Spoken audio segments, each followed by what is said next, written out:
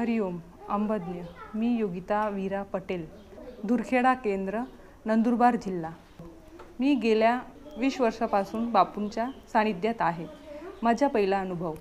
मी इथं आमच्याकडे दुर्खेडाला शिरपूरवाले उपासना केंद्र सुरू करण्यासाठी आले होते.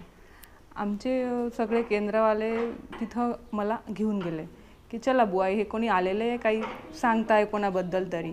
तर आम्ही गेलो चला बाई जाऊन येऊ. रात्र होती तेव्हा. तर आम्ही गेलो. मग तिथं आम्हाला सगळं सांगितलं बापूंबद्दल की बापू काय आहे काय आहे असं तसं. मग त्यांनी आम्हाला प्रसाद म्हणून खडी साखर आणि शेंगदाणे दिले आणि उदी दिली. ते उदीचे पण त्यांनी आम्हाला आम्हाला सांगितलं की उदी एवढी पॉवरफुल आहे.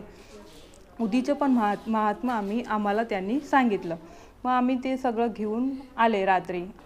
तर घरी आले आणि आमच्याकडे जॉईंट फॅमिली आहे. वहिनी वगैरे सगळे झोपलेले होते. मग वहिनीला काय प्रॉब्लेम होता?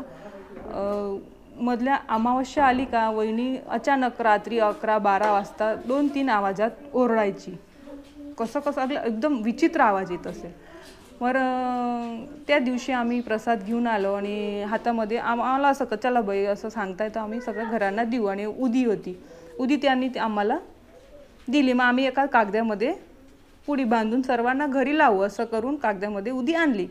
मग मग घरच्या पावतरीवर पाय ठेवला आणि भाभीने तिकडं आवाज काढायला चालू केला. एवढा अलगच आला चार पाच असं कोणी बोलताय असं रडताय असं आवाज आला. मग आम्हाला तर पहिल्याने माहीतच होतं की भाभींचा असा प्रॉब्लेम आहे.